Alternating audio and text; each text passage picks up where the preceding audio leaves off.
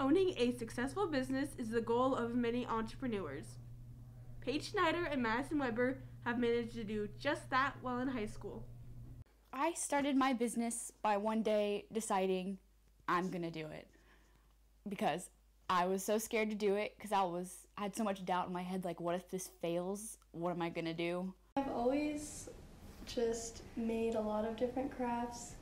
So I it was more during quarantine that I decided I wanted to start one because I was making so many different crafts and I just ended up with a lot of products which was too much for me alone. Snyder's business Young sells rings, earrings, and necklaces, while Weber's business A Golden Soul sells macrame, t-shirts, and earrings.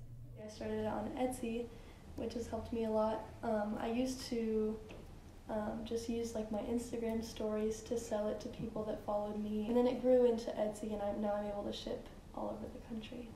I mean, I did have a booth to sell at the Holiday Mart, and that went really well for me, better than I expected it to go.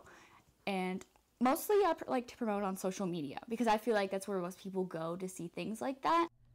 But neither of them had an easy start.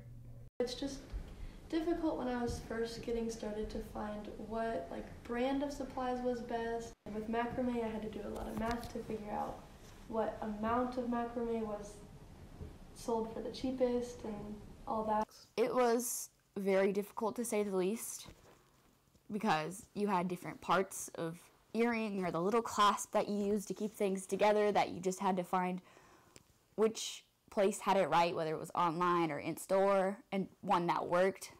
Yeah, I have lots of future plans to grow. I have lots of new product ideas. Everything's just slowly beginning to grow. So I'm very excited about what is in store for my future. Through challenges, Snyder and Weber will continue pursuing their passion for business. This is Kira Eichelkraut reporting for Titan Television.